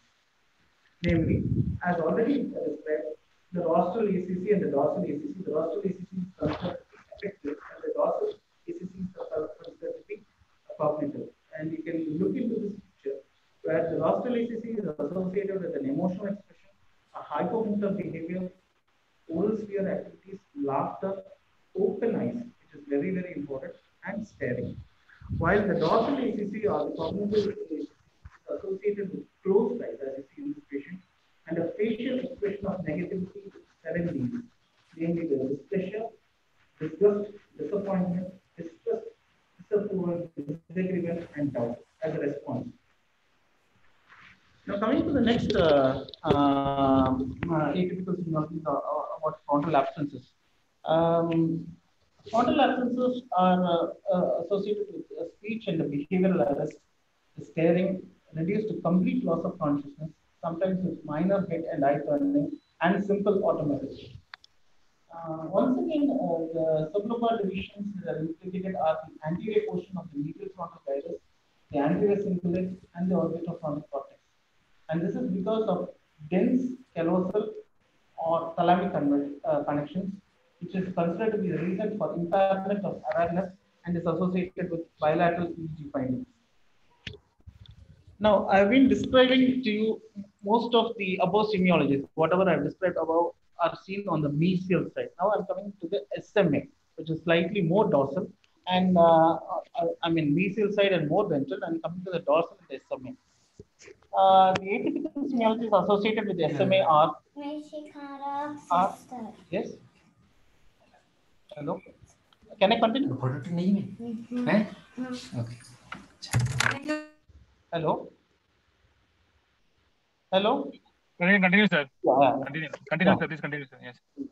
The SMA, the ipsilateral uh, hyperkinetic automatism. The SMA seizures are characterized with classic tonic posturing of the upper extremity and adversive head and eye deviation, speech arrest, and vocalizations. But rarely you can find patients having uh, ipsilateral hyperkinetic automatisms in SMA seizures, characterized by tapping towards the right side of the thorax in right SMA and pre-SMA lesions, as described in the paper by Kunisio. And uh, another rare uh, semiology is echolalia, palilalia, or echopraxia and palipraxia. The echolalia and the palilalia have been uh, in a paper in two index cases they found had an ictal onset of the left SMA and is considered due to a disconnection of the motor speech area or the motor cortex area in, in cases of echopraxia from the supplementary motor area. The next uh, atypical semiology is forced thinking. And uh, forced thinking has been uh, noted in patients with the left frontal lesions near Broca's. And uh, the, uh, the characteristic feature of forced thinking of uh, frontal origin is um, the patient tries to vocalize and has got orobuccal movements and there is a speech arrest. And the context of forced thinking is secondary in cases of frontal. Now, the thing to be differentiated is from the temporal forced thinking or, or, or temporal experiential aura, where the patient has got experiential and imagery context and, uh, and the char- characteristics, and the context is vague and out of context. For example, he thinks of a number two, or he thinks of something esoteric, and which has got no connection with what he has been doing just earlier, and there and stereotypy of these symptoms is noted in cases of temporal. now coming to the next atypical patterns are the pseudotemporal patterns, which are noted in first the orbitofrontal epilepsy. Orbitofrontal epilepsy. Uh, and, uh, in a review of uh, of almost uh, patients, uh, not wrong, uh, found a sleep-related seizures. The auras were none or non-specific, and around 60% of the patients were hypomotor. But the rest 40% orthophobic seizures were hypomotor or otherwise mimics of TLE. And the EEG was well lateralized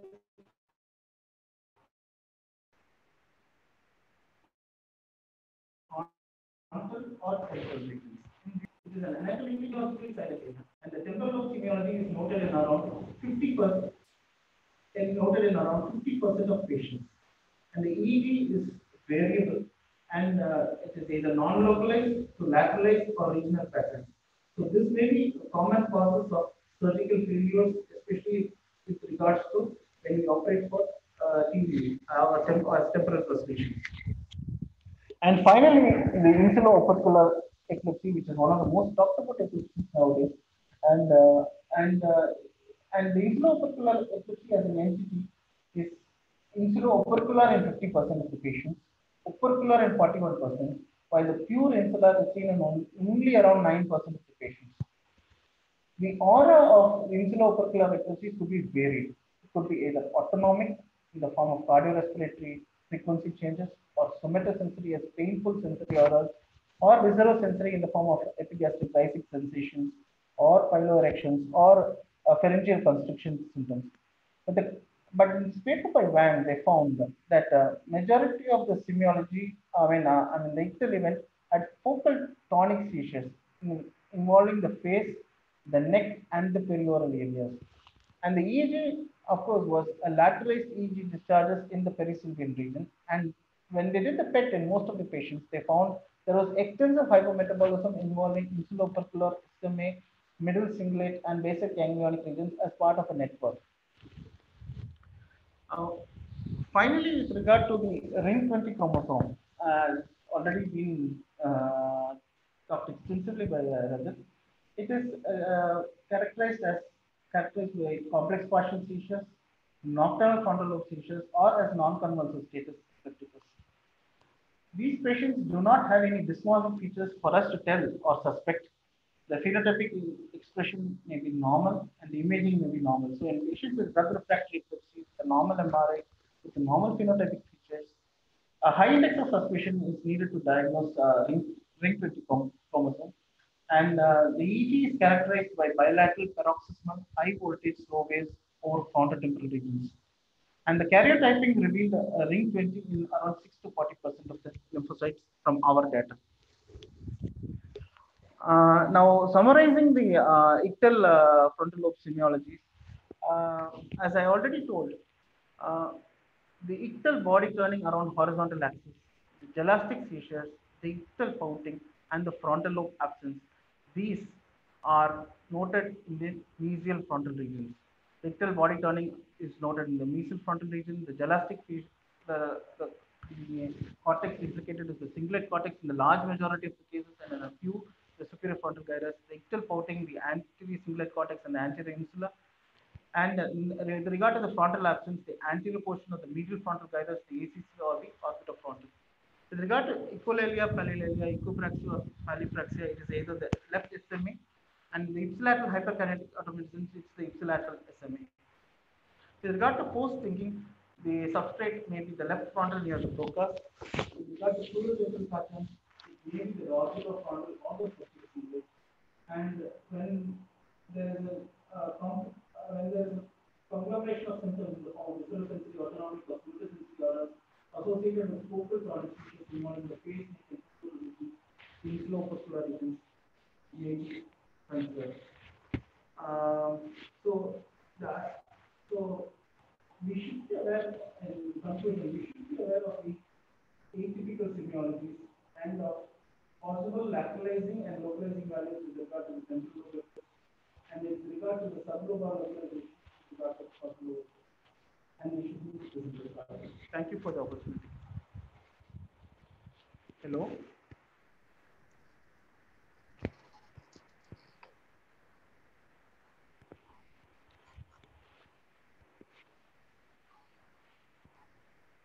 Yes, Shiva.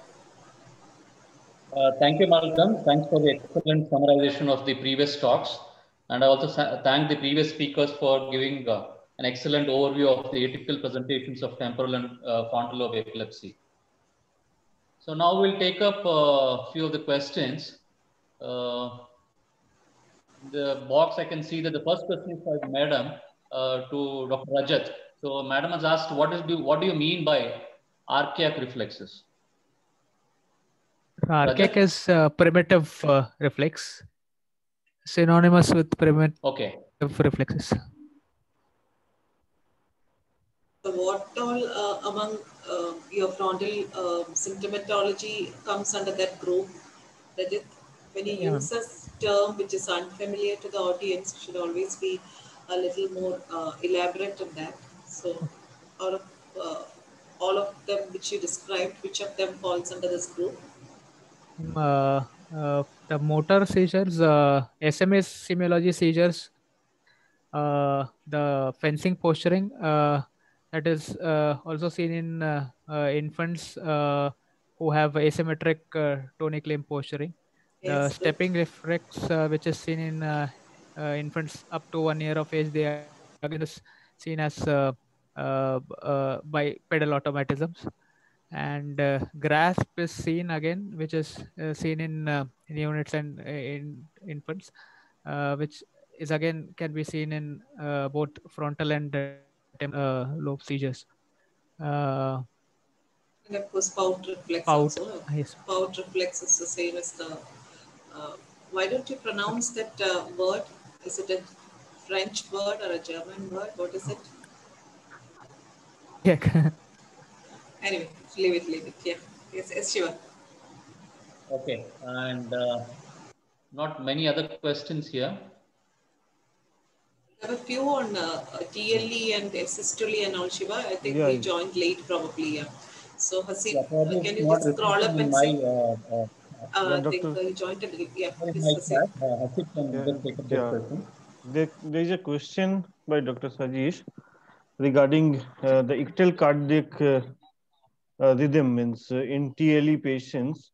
So especially regarding ictal asystole uh, and ictal cardiac arrhythmias and whether these are the patients who are most susceptible for SUDEP. Are there any data on that?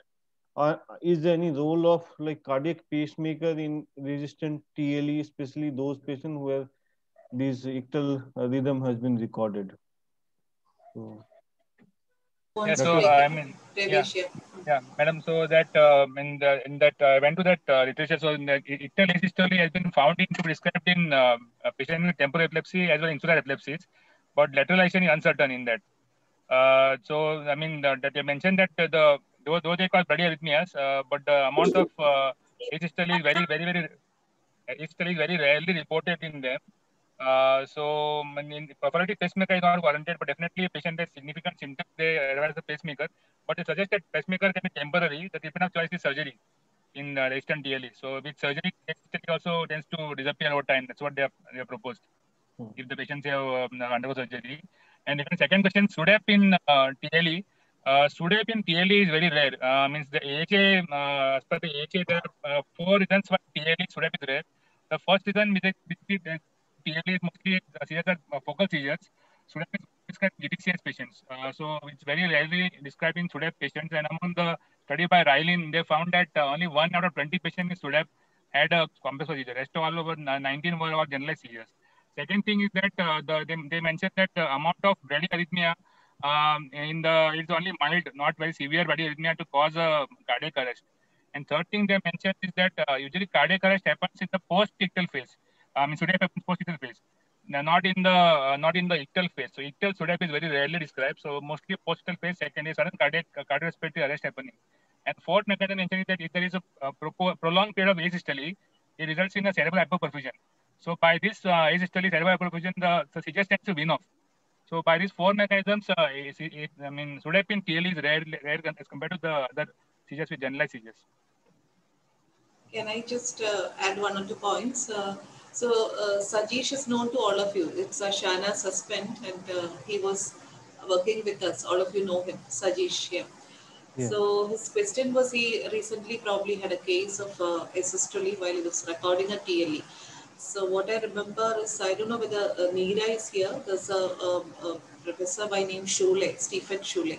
He has uh, specifically looked into it. Why we know that because um, in GB Pant, when they invited me for a lecture, he was there and he was giving a talk on this. So if you go through uh, his article, which probably I think came up in Green Journal Neurology a decade ago, uh, it is well described, ictal and I think it should last for five to six seconds. And during that time, there are two manifestations. Either the patient will go to something like a syncope-like state where the tone of the body is completely lost, or it can be like a syncopal uh, seizure, that the syncope is followed by uh, clonic jerks of the whole body. So that is a manifestation. And uh, recently, I think uh, um, a year ago, um, Sangeeta Ravat had uh, uh, put up a case. I remember that because I'd reviewed that. It has come up in Neurology India or NLS, I don't remember exactly, where there was a, left or right MTS patient with the manifestation was like a syncope and this was due to ictal asystole and she resected, um, that is, she did an ATL and the patient was uh, doing fine for the next one year. So uh, to sum up that, uh, it can happen in TLE. And if it's a resective case with something structural in the MRI, you have to go for a resective surgery before you think of a pacemaker. Because it can be part and parcel of a symptomatology of TLE, although it is very, very rarely described. And I think Sadish uh, was asking me the same question two to three days back.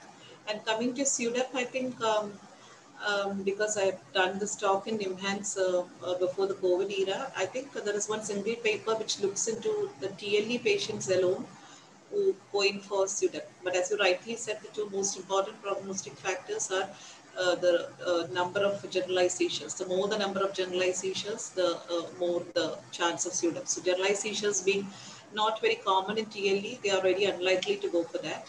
And the second most uh, important uh, thing is the frequency of seizures. As the frequency increases, the chance of SUDEP is high. But having said that, the TLE per se has a lot of uh, uh, thing to do with the central autonomic uh, network, as both the speakers were rightly, or three of the speakers were rightly pointing out. And so this particular paper, I don't remember exactly, but if you just type it out, TLE and SUDEP, you will get it out. And that particular paper is uh, completely focusing on um, TLE and SUDEP. So that's just a comment which I wanted to make. Yes, Shiva. Uh, Haseeb, uh, uh, I don't have the question here. Haseeb, any question? Yeah. Yeah, there is, uh, ma'am has put a question across to Rajit and Malcolm regarding comparison of HM1 and uh, HM type 1 and 2 mm, uh, seizure, frontal lobe seizure versus the earlier conventional way of classifying it in the sublobal localization, uh, which were more simpler. So what is the advantage of putting it into a newer classification and whether this is more uh, scientifically based or we should we uh, adhere to the conventional low sublobal lobe classification. Rajit, any comment on that? Rajit has to comment on that because when we were teaching Rajit, it was the other sublobar localization. Now Yeah. people have uh, see some paper comes and it gets accepted in some uh, good journal. That should not be the reason that you should shift your focus from whatever has been learned if there is nothing new in that. So HM1 and HM2, what is your critical appraisal on that, Rajit? And I would like to hear from all my PDFs also. Because wherever you go, this so confusing thing comes up, and you go back home with whatever you, knowledge you had, leave it there, and then go back home so frightened. That is what I feel about it. Uh, because it's mainly dealing with the propagation pathway. And uh, because the stereo EEG has come back with a bang, people are so much uh, into it. This HM1, HM2, I think uh, at least you people, my PDFs, my simple request is that don't confuse the people sitting around. Let us make things simple. But let us hear from Rajit. Ma'am, uh, HM1 they have uh, said is the when the Yeah, we all know that HM. Yeah, tell me, tell me. Yeah. We know Right. what is HM1, HM2. So, uh, what is your take on that? when the when onset zone is uh, way more anterior or uh, uh, in the anterior uh, cingulate cortex or the basifrontal region, usually they have uh, HM1, and when it is more posterior, uh, involving the middle uh, uh, cingulate cortex or the medial uh, premotor cortex, uh, then it is more of uh, HM2. So, suppose you have a motor area seizure and uh, you say that it is uh, not hypermotor uh, type 1 and it's hypermotor type 2. That's what you meant, no? Ah. Yeah, so uh, most of them goes in for generalization, as you know, in motor seizures. So, does in what category will you put that into? Uh, this um, this is uh, before it uh, generalizes. Once I don't know. So, uh, Malcolm, what is your take? man? Uh, Madam, uh, my, my understanding after this is uh, uh, the more ventral the lesion is, the more ventral and the more anterior the lesion is, uh, it is associated with uh, uh, extensive hyperkinetic manifestations, fearful expressions, and um, uh, perioral manifestations, and uh, uh, kind of with emotional expressions. As it goes more posterior, there is more tonic or dystonic activity, and the emotional expressions become less. I think this is what they are trying to say as HMS1 and HMS2. So ultimately, the idea is uh, to know where the focus is. is. Is it going? Is this clustering of symptoms going to give us a clue as to where we should search for the lesion? And uh, as I had told in my atypical semiologies reg- regarding to the mesial surface, where they say the more posterior is the SMA, slightly down is the ACC, where they have the dorsal ACC and the uh, uh, rostral ACC, and more anterior is the orbitofrontal. The orbitofrontal, the rostral ACC behave like a unit, which I feel produces the HMS1. The SMA and perhaps sometimes the dorsal ACC produces symptoms that perhaps look like the HMS2. So whichever way we want, I mean, I mean, we say them as HMS1 or 2, or we see them as a cluster of symptoms.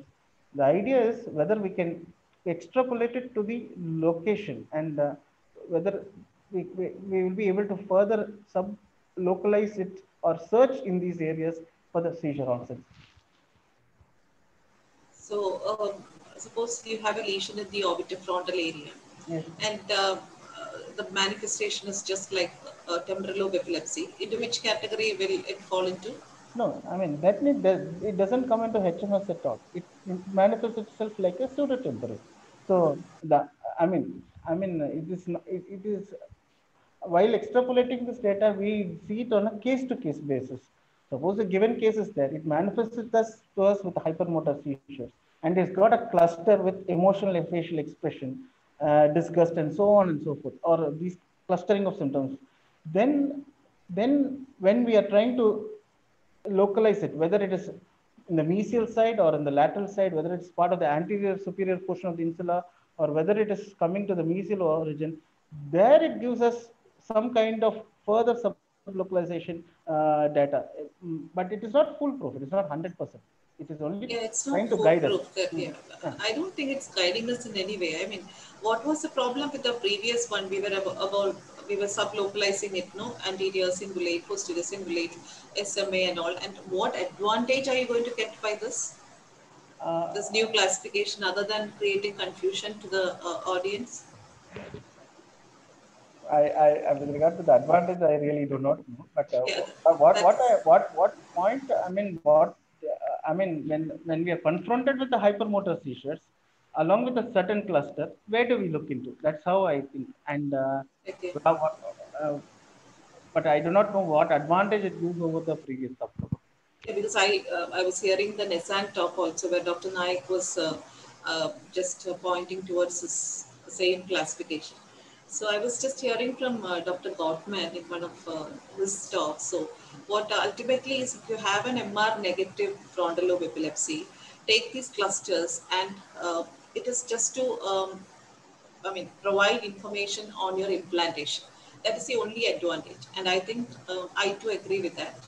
If uh, you don't see emotions very well on the face and if you don't have a very uh, well lit camera, or anything. Still, you have to go by the other side. So when you are into a system in which uh, the frontal lobe epilepsy becomes the 3T negative MRI case, then probably it would help, probably.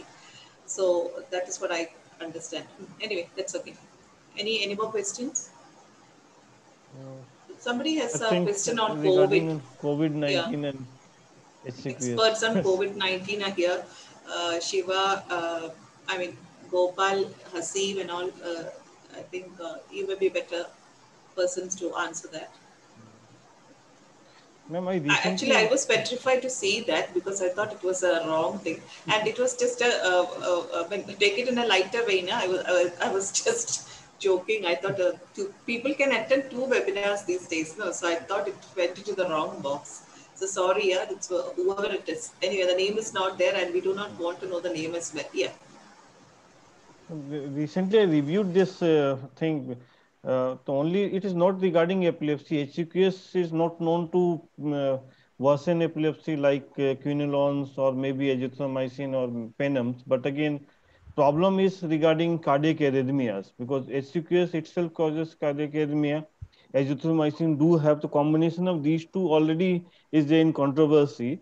On top of that, if the patient is on sodium channel blocker as anti-epileptic medication, maybe patient is on phenytoin, carbamazepine, or maybe lacosamide, then there is theoretical uh, fear of probably producing some kind of cardiac rhythm disturbance. That is the only thing I came across uh, this um, this problem. Otherwise, the HCQS per se is not contraindicated in COVID-19 patient. What I could get from the literature. I think Dr. Shiva can comment more on that.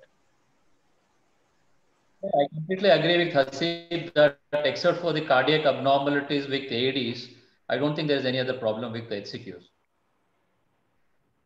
Anyway, we can all go and read about that. Uh, whether an ECG is warranted, uh, QT prolongation is already there and all uh, before starting uh, HCQ in some health worker who has epilepsy or whosoever. So we'll go and read about it. Anything more? I think there are no more question in, is there in Yeah. So Shiva and Haseeb, we can mind it. That's it. Uh, there are no more questions. And if anyone wants to discuss anything, uh, we can have a discussion on that. Yeah, there are 30 people left who are the real learners. If somebody has a question, you can just uh, unmute and then go for it. Maybe one or two minutes. I think, but it was a wonderful presentation except for the uh, some technical glitches at the beginning. Um, these are the atypical semiologies. So rare semiologies also one should know. And uh, Sajesh has brought up a very uh, good one, which was not discussed here. That is uh, the uh, bradyarrhythmias and ictal asystole. We had a Brugada syndrome, which we diagnosed, and then uh, it was given to the uh, cardiologist sometime back when people were here. I don't remember who was the PDF during that time. So the ventricular complexes are important. So always have a look at the uh, EKG as well uh, when you uh, look into the video EKG. That was the he presented just like syncope. This old man, uh, one uh, Dr. Jain, he was uh, from Bhopal. Um, who was a resident? I mean, who was a PDF at that time? It was some three years back, I think. Yeah. So he presented with just yeah. Hasi was there, I think. Yeah, Anis Yeah. was taking care of that Ah, patient. okay, okay. I still have yeah. that video and Yeah, video exactly, exactly. So this man used to just fall down, and uh, all sorts of investigations were done, and then uh, we recorded, uh, and then uh, there was uh, a lack of QRS complexes, and he had an ictal asystole, and he's doing very well. And he is the spokesperson for Chitra in the whole of Madhya Pradesh now. He himself uh, started referring patients as if like he's got a second life. Most of the times he becomes blue, and uh, Anis unfortunately is not there tell him that uh, I was uh, asking why he's not there most of the days. Okay. Neither he comes up in the WhatsApp also. I sent specific notes to certain people. Kalyani is also not here today, I think. Yeah. Anyway, uh, there's no more questions. We can wind up. Both of you, Shiva and Prasad. I think uh, Dr. Shiva can give concluding notes on. Thank you. Yeah, uh, it was an excellent session. Sorry, I joined this session. Uh, Raja and uh, from Markham, and uh, uh, it was a wonderful session. Uh, I think we have all the epical science of temporal lobe and frontal lobe, and excellent summarization by uh, Malcolm, which gives us two charts. Uh, we can put it up in our lab, and we can look at these uh, atypical signs whenever we are reading this video. I think it was an excellent session, and uh, it's like we learning back again all the epilepsy signs again after a long time. I thank all the speakers, and I thank Haseeb for moderating the session in my absence, and I thank Madam for uh, doing all the chairing session for this uh, uh, the PDF uh, uh, epilepsy meets. See, Kalyani is uh, showering complaints on me. She's somewhere around here. So I'm sorry, I confess. uh, if you want to see or hear her laughter, she's around here. That's what uh, she's saying. Anyway, uh, thanks for being here. This will be Madam, uploaded. madam. Oh, tell me, Baba, you come up then. Nahi, sorry, sorry. No, no, you said something I didn't understand. Ah, Who? that's okay. Then. I was saying that Kalyani was my best PDF. Okay, that's something to laugh about. Yes. Yeah, yeah, yeah. Okay. Okay. That was what I said. She did not hear what I said. Okay. Okay. Uh, so this will be uploaded in the YouTube, and I think all our Chitra videos. Uh, so we have taken a consent, so you can uh, go on and upload those videos. There is nothing outside Chitra. Now we have a consent form in which we take the consent of the patient as soon as the patient and the relative center for academic purposes will be doing that. So, but um, one of you, if you're presenting, it's my kind request, please acknowledge Chitra videos wherever you're showing that. We, you have all the right SP people have, but it's uh, all the more I have to say that if you're bringing out an atlas or whatever you need, uh, please take a permission because that is needed because patient is ultimately going to come and ask us and you should have the courtesy to do that. Just um, percolate this among your friends as well. I'm more than happy you people coming up with publication or atlas or anything, but uh, be practical and don't put us into a soup. We'll be in trouble. So these things will be uploaded. Ravish has to upload that Gopal stock also. There are so many people whose finances are going so bad, I think. So I'm getting two, three of uh, requests every day uh, that why is it not being done? So please do that, Ravish. I know today, today, today I'll do, yeah, he's doing a lot of extra work. So my thanks to Ravish as well. So we'll wind up for the day. Thanks, Malcolm, meet- and next both the is when- speakers. Next meeting is Next when? meeting is uh, November 14th and then the last Sunday. Uh, so let that be uh, a surprise one. Uh, we'll start circulating, and that will be not in this format. Uh, only the speakers will be visible, and it will be just like a, a perfect webinar because uh, we are expecting some 600 people to join. So let us see. Two more weeks are there. be on your toes, and we'll see. Thank you, ma'am. Thank you. Okay. okay. Thank you, ma'am. Bye. See. you. Have a. Thank you.